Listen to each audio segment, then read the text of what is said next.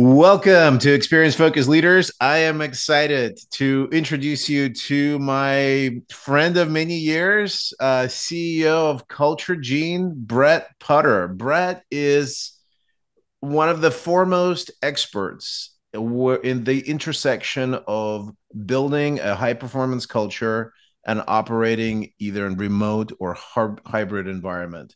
Um, he's the author of two books uh, Culture Decks Decoded and Own Your Culture.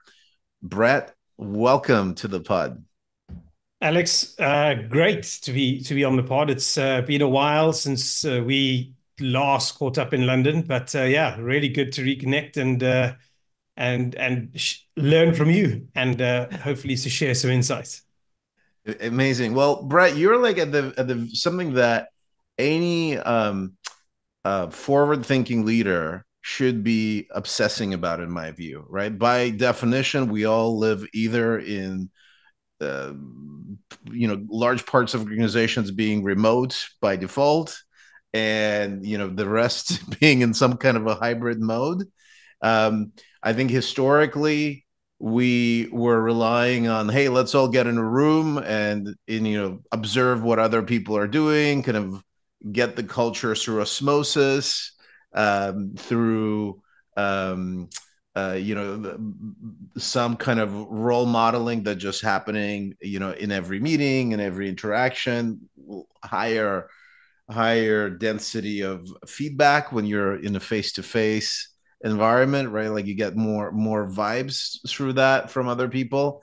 Now that world um, has mostly changed but the uh, the the culture problem is even bigger because a lot of people have not even had that kind of gap, right? They're joining organizations that they've never met anybody in that organization in person, and they're supposed to be the leaders in that organization, and and I think it's kind of causing all sorts of um, a heartburn for people that are able to spot it. What are you seeing as the most uh, typical challenges for, let's say, high growth um, organization that's dealing with hiring and maintaining culture in this environment? Yeah, so I think that the your point about the world has changed is very relevant because the world has changed, but leaders and leadership has not. And this is the first challenge is we've the the world has changed, but we're still working or leading as if we were in the office five days a week. Right. Ultimately, and this this is because mainly because none of our none of the leaders or the vast majority of the leaders in companies have not experienced what it means to work in a an organization that was set up to be remote first from the beginning um, they don't. Yes, we had two years of pandemic remote work, but that's not the same as being in an environment where there are remote work best practices, where they know how to spot the challenges of remote work and overcome them. So I think that really is the first challenge, is at the at the leadership level. Well, and, I kind of want to double down on that in in the sense that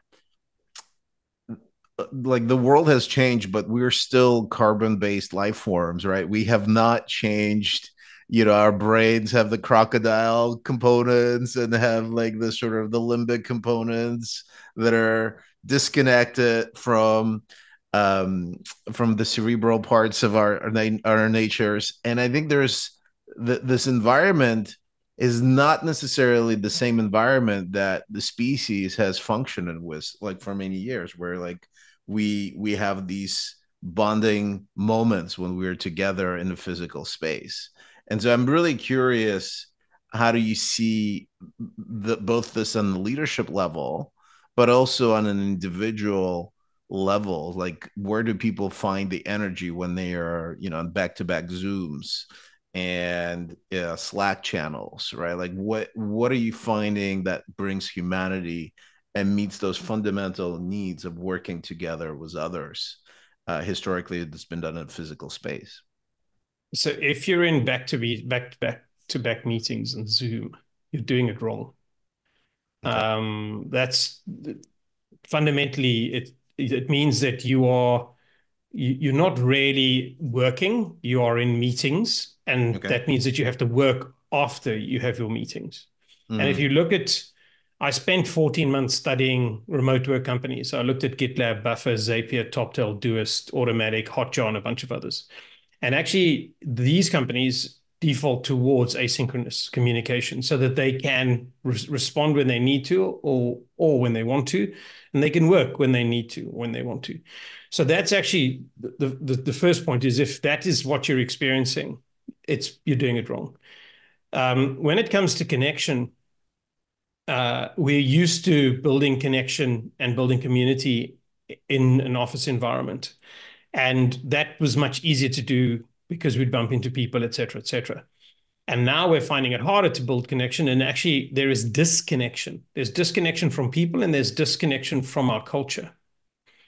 Mm. Um, and the reason for that is because the systems inside companies, the system is wrong for the way we work now. Mm. So we're still using the pre pandemic operating system. Mm. But actually, we now have a post pandemic operating system. And so it, and so we are expecting somehow for this post-pandemic operating system to evolve itself quickly.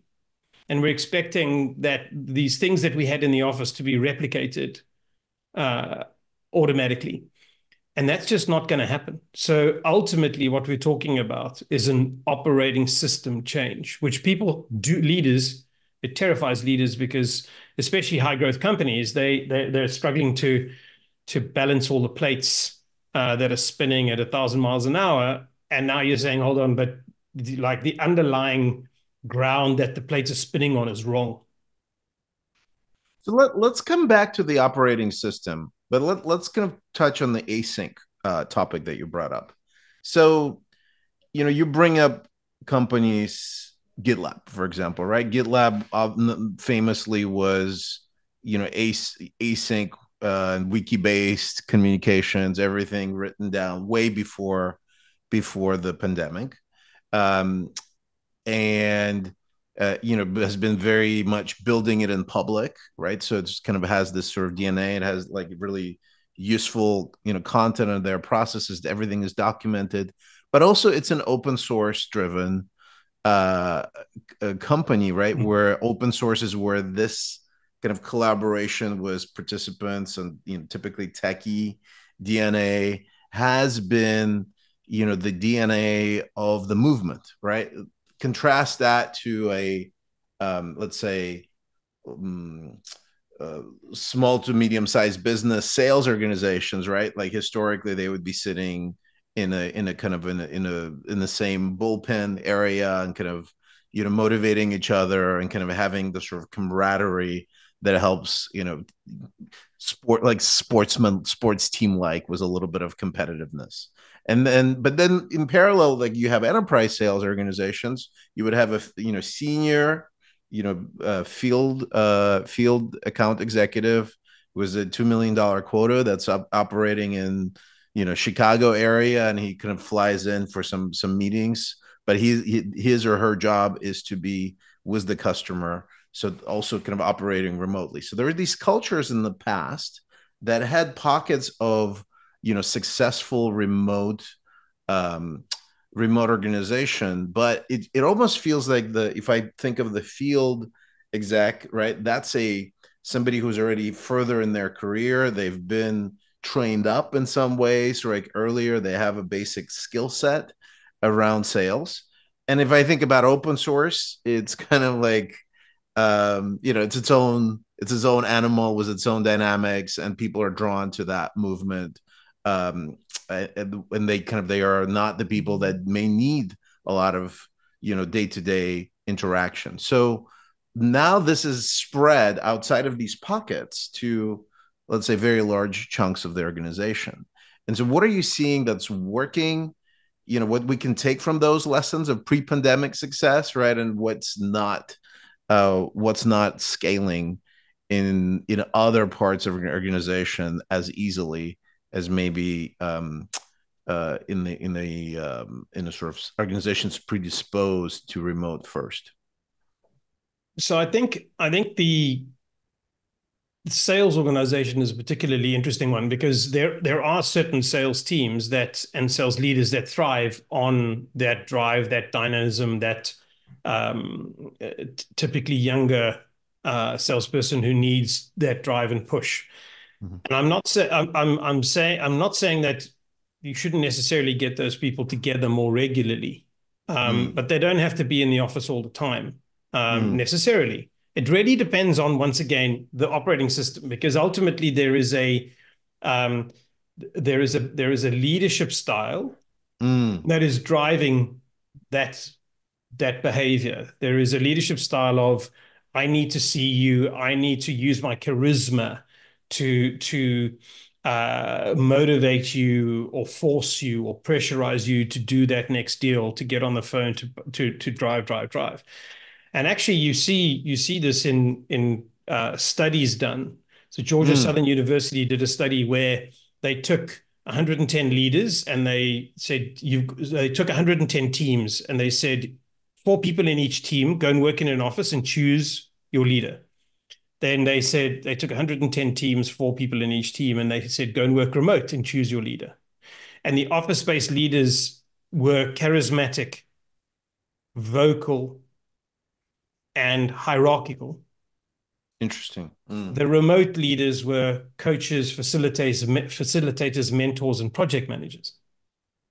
So it's a fundamentally there's a fundamentally different style and a different way of working in both of in in in office versus remote. So that's fascinating, um, and that's unexpected, which is great for our listeners. So the I I would have assumed that in if you're remote, it's even more critical to kind of convey the energy and kind of be the sort of you know bring in the charisma and the passion. How? Uh, fun like i well i'll tell you what i've been trying to do i don't know I, you, you'll ask my team how you know they'll they'll tell you how um you know how how how it's working or not but i think the i i it got to a point where i would sometimes read a poem that really moves me to the team. And you know she like like was it was a view and it would be like an all hands meeting but it's a it's a poem that has kind of like a appeal on a human level and sort of connects people in and like like brings them in an emotional state right? And it's got lines with our culture hopefully right? Like i think that's sort of like the intent was i did to me that's an inspirational um that's not charismatic well yeah. it's not the, you, you no, should no, no. you should wait you should hear me read it that's actually that's actually so ultimately what you're doing is you're connecting on a human level with your team you're not demonstrating charisma. You're not demonstrating leadership through your personality and the, the, the force of your communication and the way you interact in a, in a in a physical way. You're actually more connecting with them on a on an emotional level, which you felt they needed, which which shows the emotional intelligence you need to run a remote organization. Mm. So that for me is is is not charisma. If you think about charisma, think about Steve Ballmer standing on stage, sweating buckets of sweat, motivating developers, developers, developers. That's, that's, that's on the wrong side of the spectrum, but, but that's that's all. I don't think that was motivating for developers either. To be honest, if I like, I'm I'm a son of a developer. I'm a I, I, I work with developers. some of some of the best developers are my friends, and I think they find that ridiculous. But, but but that's that's that's the extreme of what I'm talking about. You know, that in-person interaction where yeah. come on, come on, yeah. you can do it. Go and do another call. You know, versus right, right. versus right. how can I facilitate? How can I how can I create the environment where you do the best work? And yes, you, you may have younger employees who are less experienced, and yes, you may have to pull them into the office more, but that mm. doesn't mean they have to be in the office all the time. Right.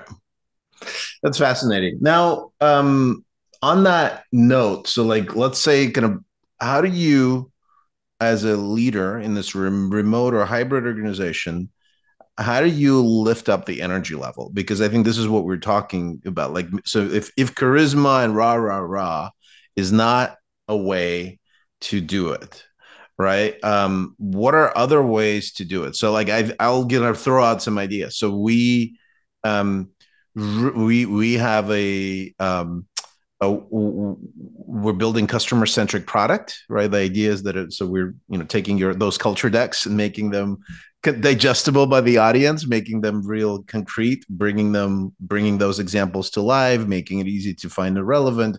So that takes a view that requires for us to be um, driving customer centricity and so for our clients and for ourselves right and sometimes the customers are also not in your you know sometimes you you know used to meet with them in the past right like especially the enterprise the big relationships now it's harder right so a lot of it is remote so one of the ways that we do it is we talk about customers in our Zoom meet, and you know, all hands. We have a dedicated place for a customer.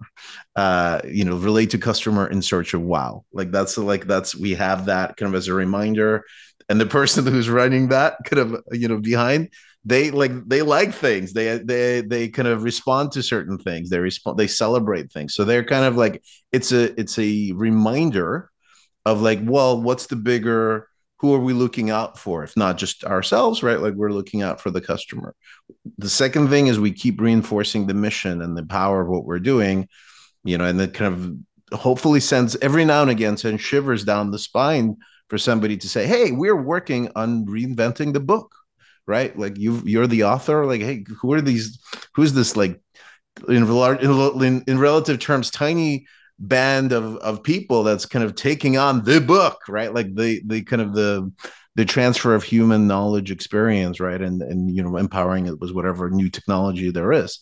And so that kind of th- those things is what we're in our little startup at RELAYTO we're that's how we're thinking about kind of bringing up the energy and the relevance and connecting to the bigger idea so people don't get lost in the okay everyday challenges. What are you seeing other companies do right? Like this is not enough right? Like there's got to be more more ways um, to lift up the overall energy level. It's it's it's not enough what what you're doing is critical. Mm. it's they it's e- very easy for somebody working in a remote environment to forget why they're doing it and mm. forget the purpose because they've got the cat that needs feeding or the, the, the their, their daughter needs to be taken to school or whatever it is and right. so it's quite easy to forget the, the the the, mission and the vision and and and, and the purpose and and and the values. They they, mm. they they when you're in an office, you experience it more. You you and it's easier for leaders to call it out in an office. You know, well done, Jack. You did this. That's living our values.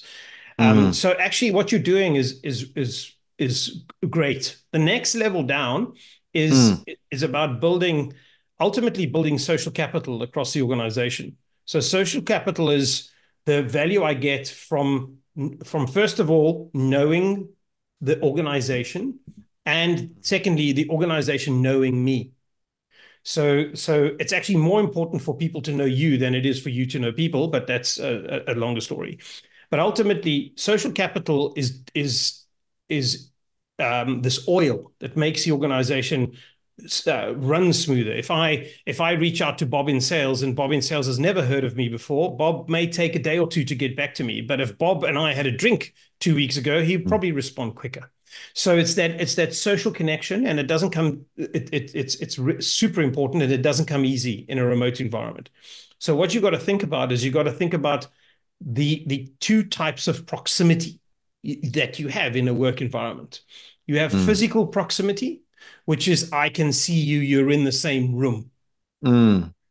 And you have emotional proximity. Yeah. Now, emotional proximity is being seen, being recognized, and people and understanding that people understand the value I bring to this. So emotional proximity can can be used very effectively by leaders to overcome the lack of physical proximity. Mm. And you do that by focusing on the moments that matter for mm. your people. So the moments that matter for your people are personal things like birthdays, kids' birthdays, etc., etc. The the moments that matter are overcoming a, cho- a, a tough project. The moments that matter are hitting a target. The moments that matter are the things that you can hook around and show the person, I see you, I value you and I recognize you for this moment that matters. And I may Mm. even call it out again just to remind you that I spotted that moment that matters. And so this is how how you can go beyond the the, the, the, the that first layer of culture and go deeper into social capital and building social capital inside your organization through moments that matter, both individually but also to the broader group. Mm.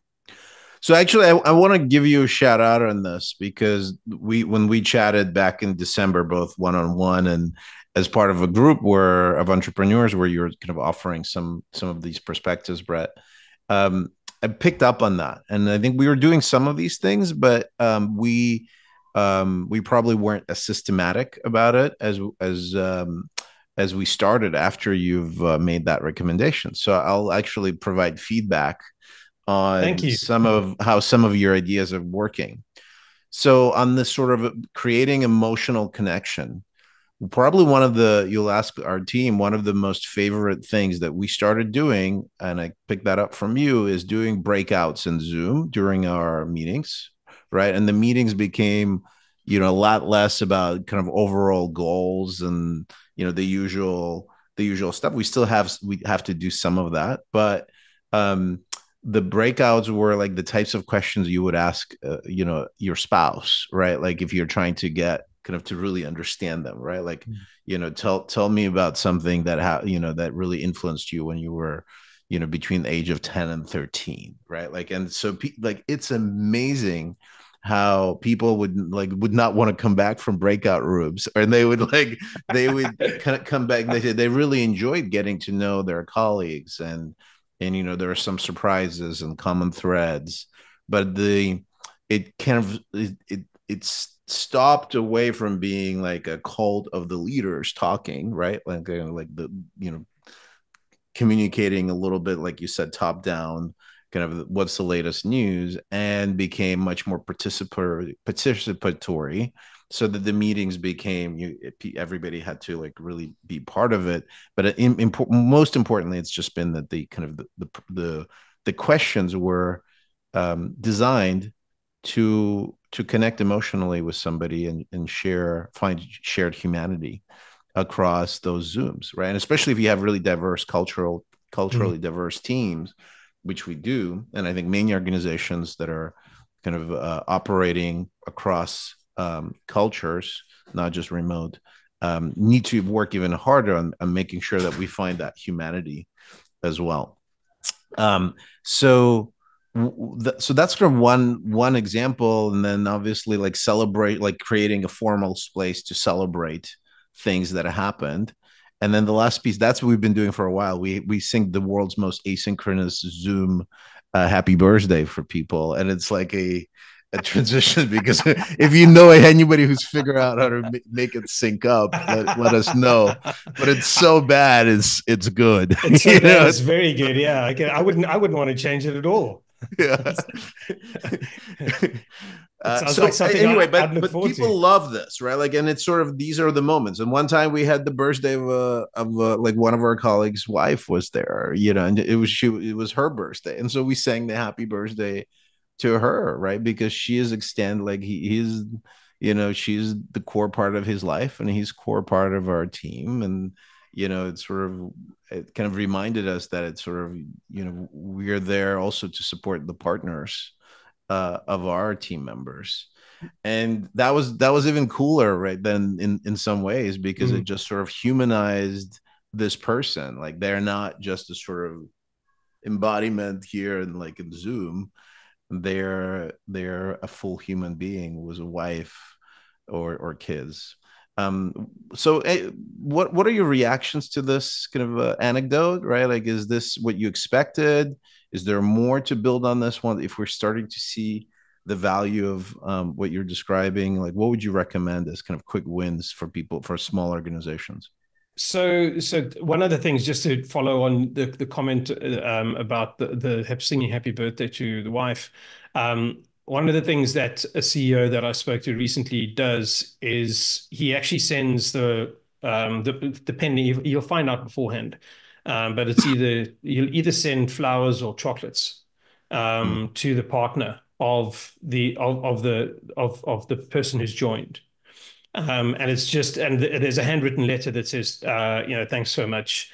Uh, just want to I just want to show our appreciation because you know we know how hard it is to be a partner in in, in a working environment, and it's really great to have your partner join us and and we see you as as part of our extended family. So thank you. We appreciate your your your support however that may be. And it makes it makes such a big difference because you they've just hired this person and then the partner gets this this completely customized handwritten uh, measure of appreciation which which just you know it, it, it's it's a it's a bonding moment between between two people and the company versus just the the new employee in the company.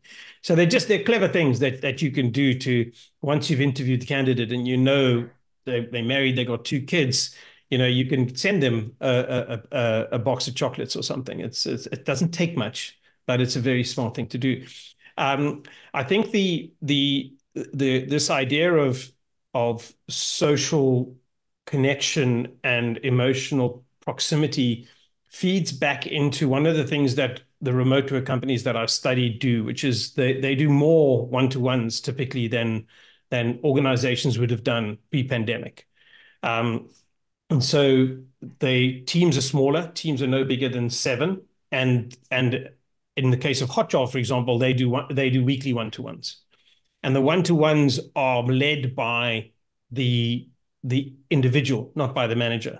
So mm. the hmm. individual writes the agenda, and the individual will um, will state what they want to talk about. The manager does have some questions in the back. They, they, the manager never drives the conversation ever. Um, and that, so, so what then happens is instead of it being an update on how's your performance, they have a, a document that details performance over time. So they start off going, you know, this week or this month, this is what you're expected to achieve, and they just follow on that document. So you so you have a personal meeting with the individual, finding out how they are, how they doing. If they want to talk about performance and the things they're struggling with, that's not a problem. But ultimately, the manager is managing the relationship, not the performance. If there is a performance meeting that's required, they will schedule one. But they can see by the project and the progress of the project documentation and updates on performance how the person is performing, and they'll know whether they need to step in or monitor or get involved or train based on the work on that work that they've done.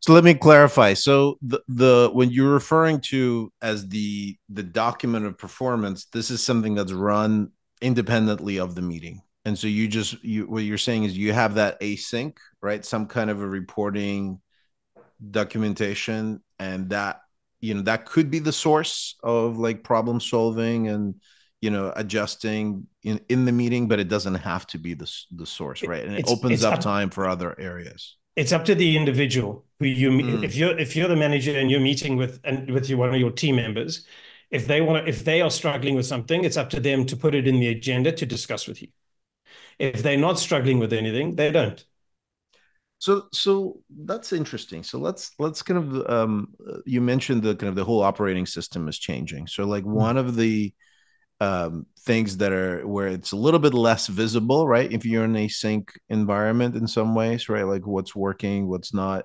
So you brought up this document. So what are you seeing people change in how they communicate progress?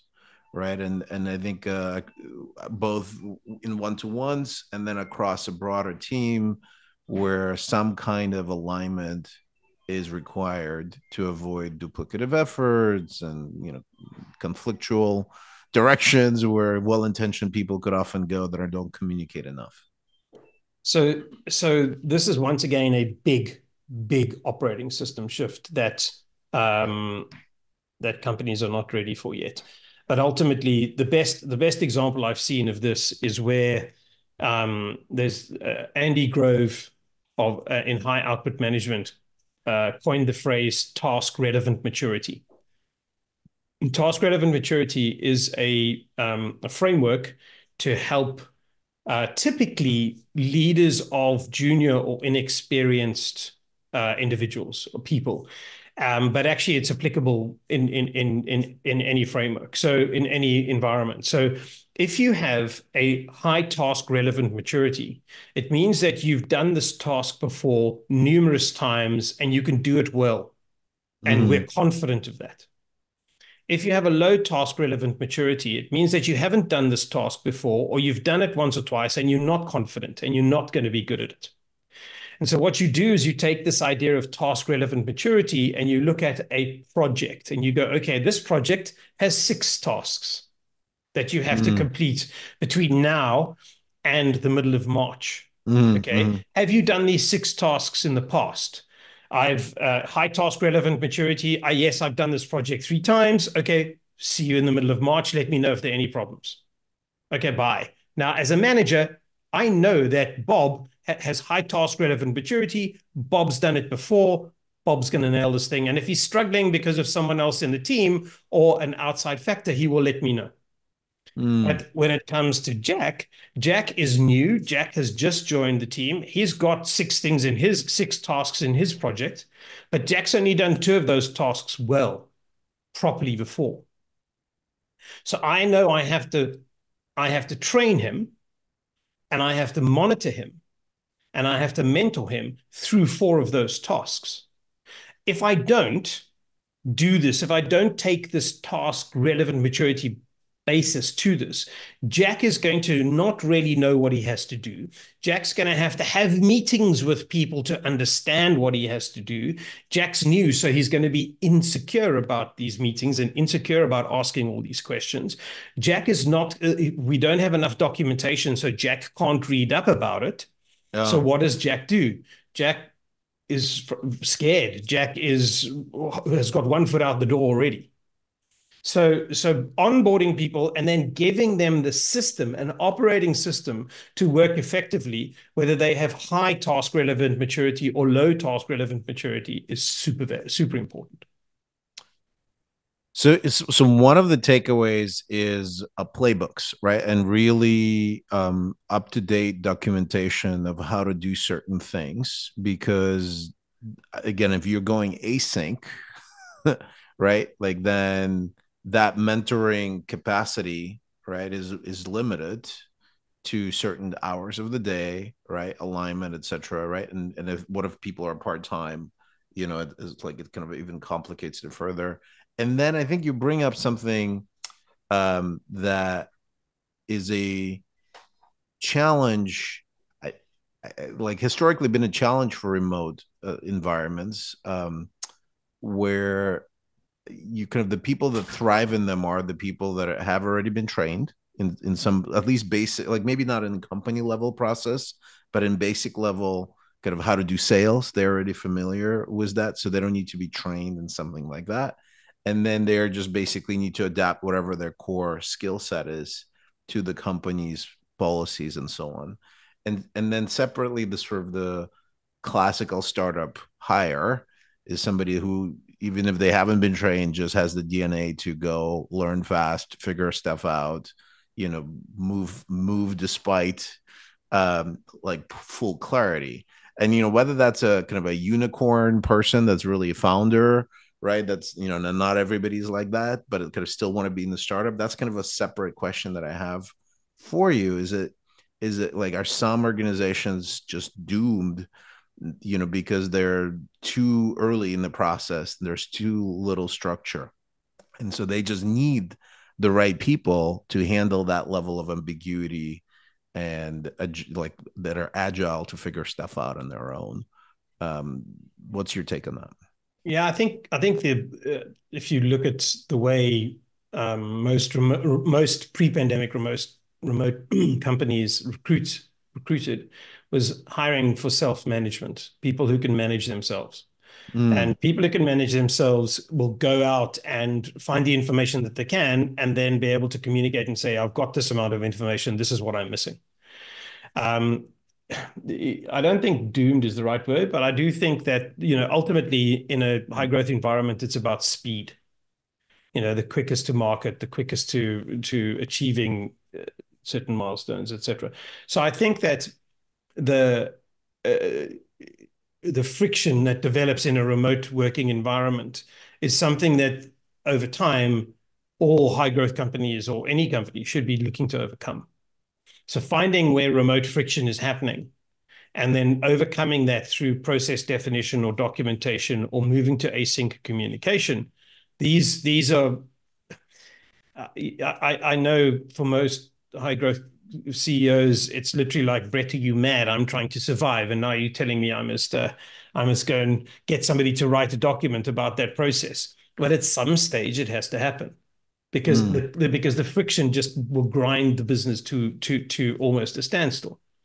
And human beings are incredibly adaptable and incredibly good, good at, at, at finding ways to do things. But if you facilitate it and if you if you build a system for them from the outset, if you have the system mindset, around what did we do that's not working, that's that's building up all this friction, and how do I overcome that friction? Um, over time, it's not you know nothing's going to happen magically overnight, but if you but if you have that mindset over the next two, three, four, five years as you build your startup, you will build a system that is that is built fit for purpose for a flexible work environment.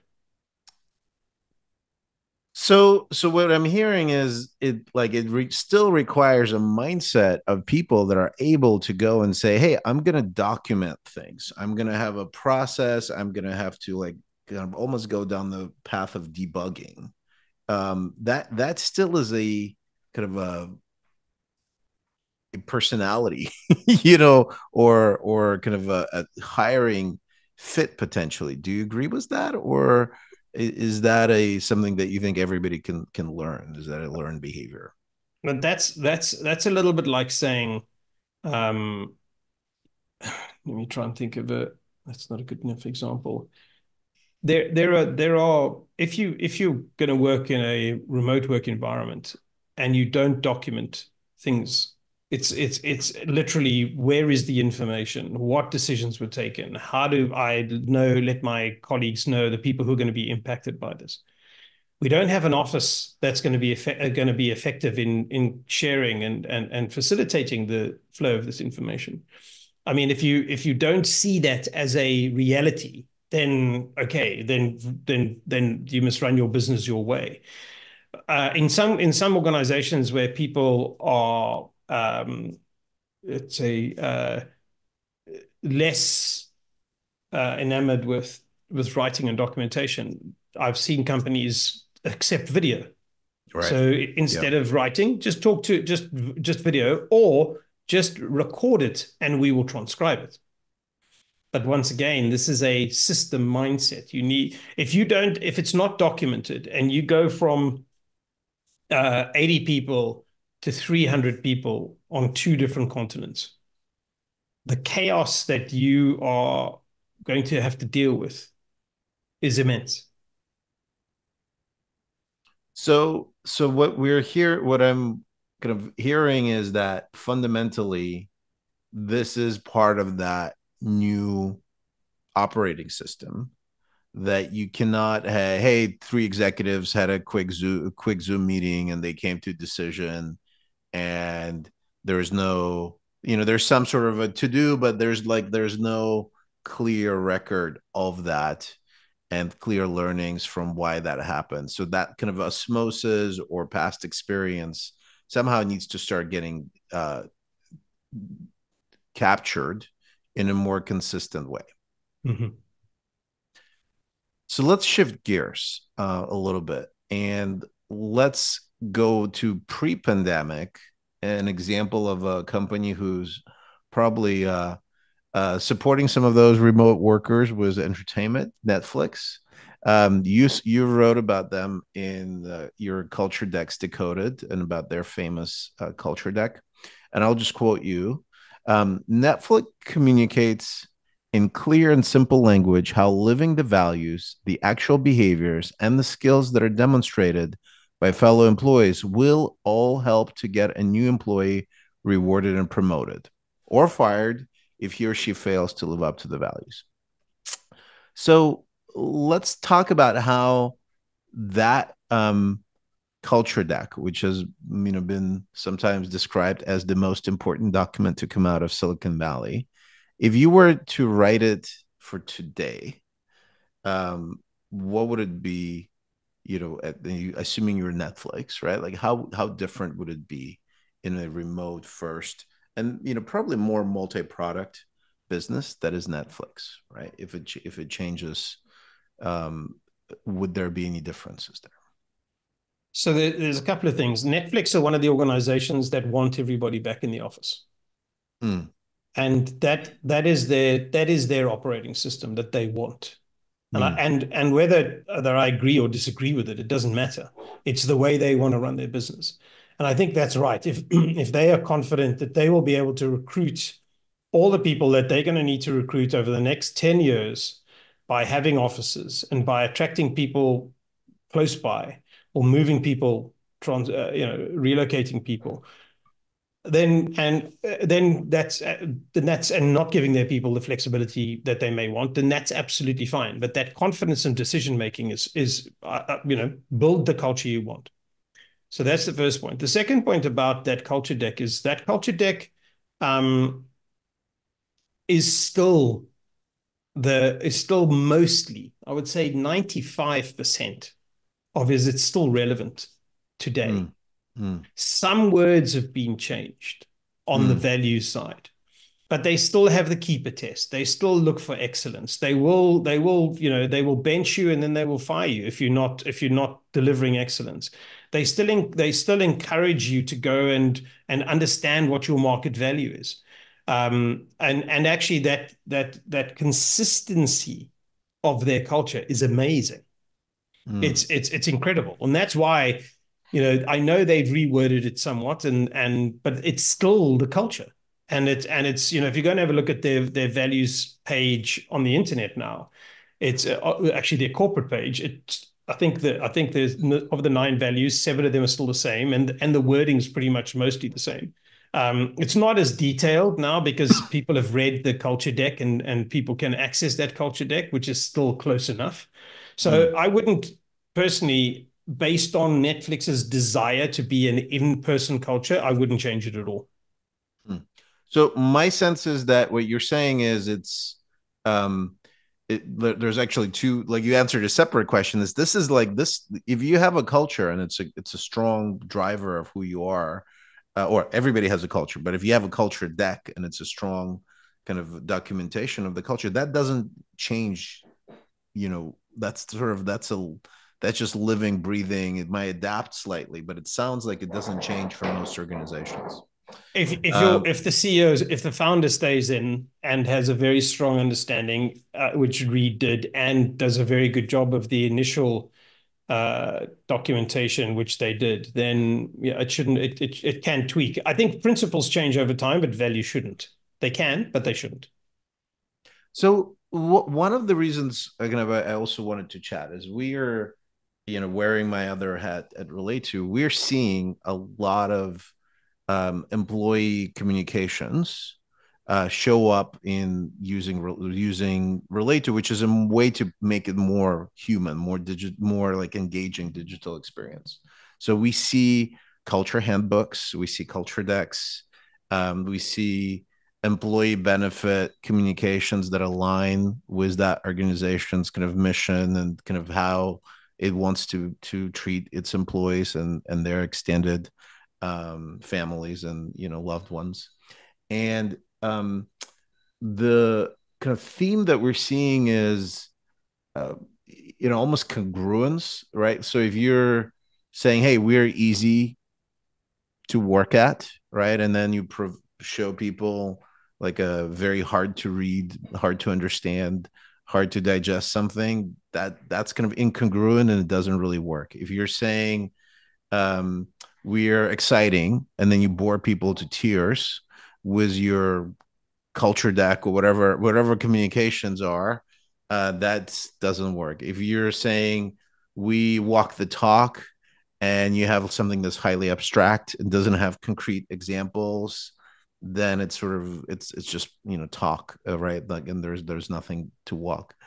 And so we we're seeing some of these like like forward thinking organizations generally like like they're they're looking for an edge in engaging uh, their their employees. Sometimes it's their extended employees could be like contracting folks could be kind of you know like we have a um, company that has runs d- dental clinics and so some of their some of the folks they need to engage are not their employees they but they are part of the kind of clinic um, so they they go to extraordinary lengths to actually humanize create videos kind of create a com- common sense through again these values the magazines the newsletters uh, because the kind of the lame mo intranet post or kind of email just doesn't do it anymore.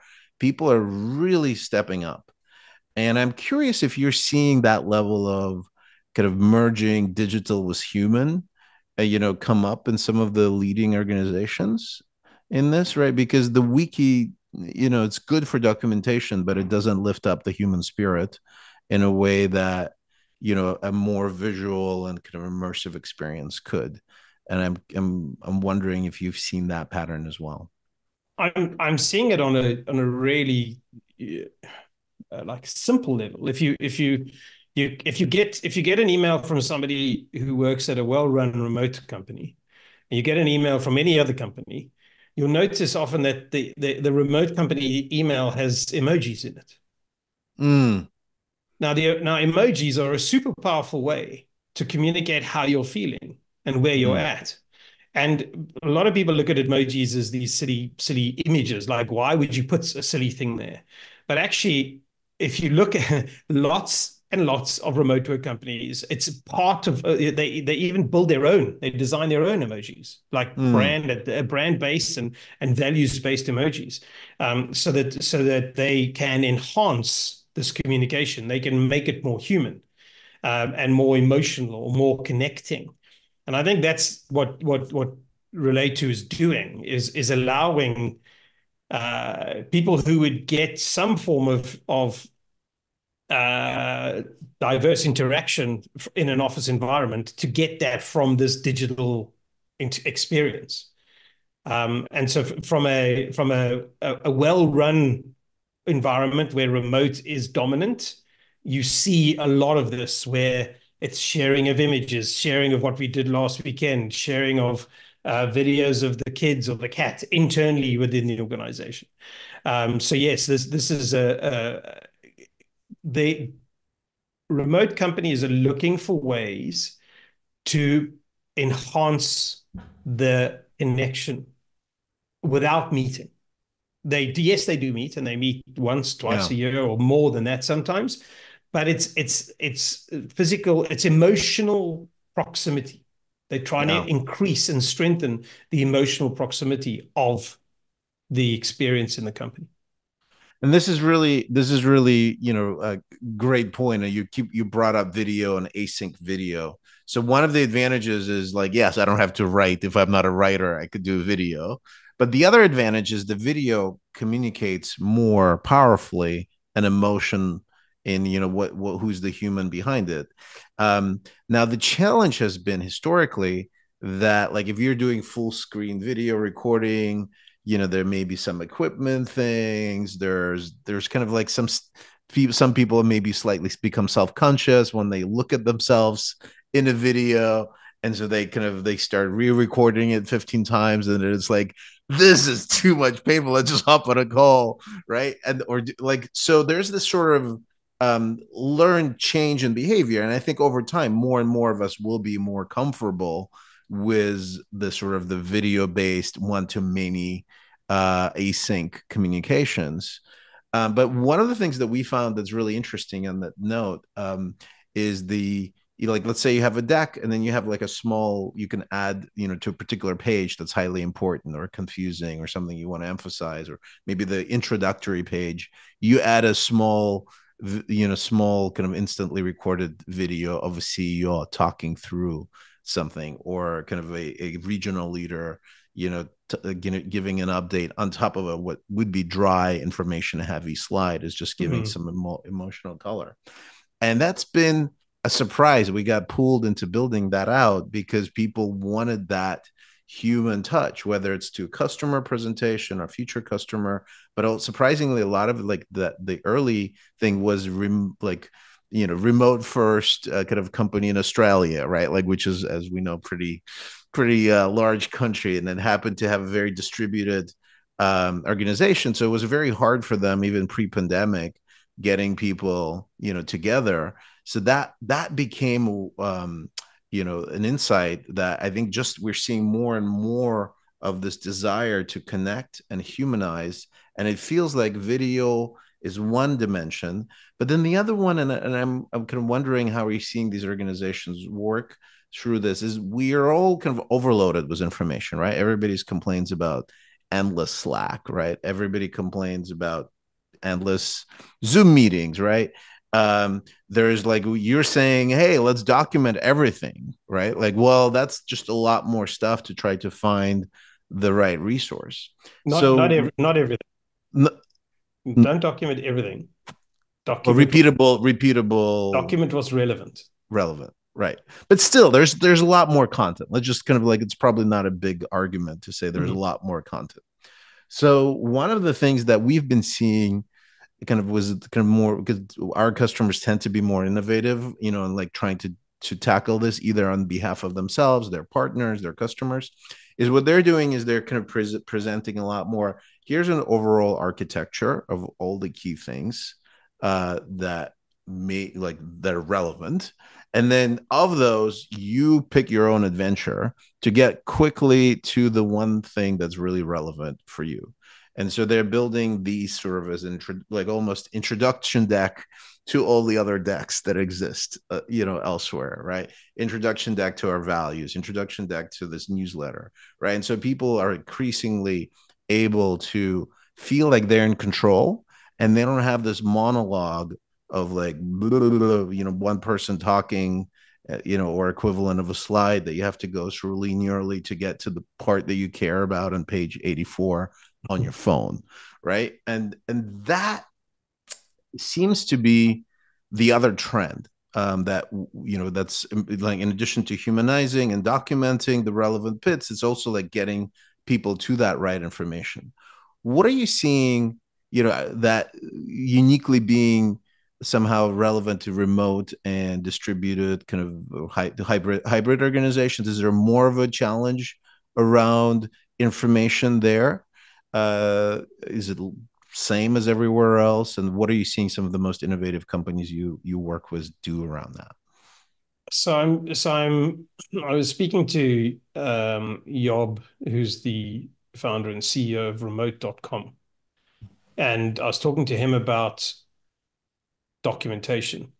And he and he said that his target that he is aiming for is for anybody in the organization to be able to find anything that they want, the relevant documentation, in less than 20 seconds. Hmm. And he said, "We're not there. It's it's it's it's a big challenge, but that's that's ultimately what we're aiming for: is the ability to to to get to the right information uh, as quickly as possible, and then get to that even inside that information, the right information is is really important. I'm seeing people play around with AI, um, but it's too early to to really have a I don't have an opinion, and I haven't seen. I haven't. I haven't got any concrete results um, using AI in in in in this sense. I think uh, your your point about your customers being quite uh, innovative. Um, I think that that you, if if I was if if I was thinking about your customer, I think there needs to be an intentionality around around communication and an intentionality around um, culture and the culture of communication. And for me, that that that would be you know it would, it would from from my point of view, users of RELAYTO uh, would be would would I would just I would just put them in a bucket of interesting cultures. You know, they they, they must be some sort of intentionality there um, because they, they care they, about the audience like I think they, the like the defining thread is they care about the the message is important to them and the audience is important to them and so they want to get the message they want to, to deliver it yeah they yeah. don't want to deliver it to the they're like if you just like hey you know this is just kind of a quick email and there's one other person and uh, yeah that we're not the you know go use google docs or powerpoint or whatever the but if it's a you know one to few one to many or like really important audience really key stakeholders we want to respect them. We want to show them a sign that we care about you know them and we care enough about the message to make it accessible right? Mm. and that degree will vary right? Like from ai is like you know like for example for employee benefits ai is amazing. Our clients that are using that like hey I, I need to figure out fertility benefits. Like you know the only way to do that right now is like to go through control f through like 15 documents to really understand it and then you'll just see the word fertility. You won't get the answer and the likeliest page in the right document was an answer that you could then go validate right? Imagine you could skip that and really make make a you know, much more informed decision across a library of content that doesn't have any kind of crazy stuff in there from general you know ai tools. That's really powerful and this sort of not a use case we thought of initially but it sort of creates the sort of out of the noise helps people get to the right nugget very quickly. Mm-hmm. um, and it um, it sort of again signals that we don't want to hide behind the small print. We want to be accessible. We are we, every interaction is about building trust. And how do you build trust? Well, we help you kind of to to that point of your of remote.com leader. We help you get to the right information, you know, and we help you then double check if you need the the details and the footnotes and everything, right? If you're that person or if you come from an evidence based culture, we need to provide the summary and the quick access with the backup if you need it. Mm. And I think that's the only way that I see, like generally for society, it feels like that's a good way to build trust, right? Like you, you know, you kind of got to provide some kind of a framework for people not to get lost in the weed of the details. But then once they get to the relevant bits, see what's kind of what's backing them up. Um, so I you kind of back to broadly telling you I know you you think about global issues right? Like but th- we've talked about you know startups and and maybe high growth companies quite a bit but how do you see this changing the overall culture? Like as you know for for societies as we're kind of feeling you know we're all more remote right? We we have um increasingly you know less less physical gatherings in our kind of uh, social maybe kind of civic lives. You know how are you thinking that some of the lessons that you're learning could be adopted by other organizations? Yeah once again if you think if you look at what remote work companies do they don't they actually encourage and in some cases they fund involvement on a local level. So mm. in your village or in your town or in your city, what do you want to do to go and give back?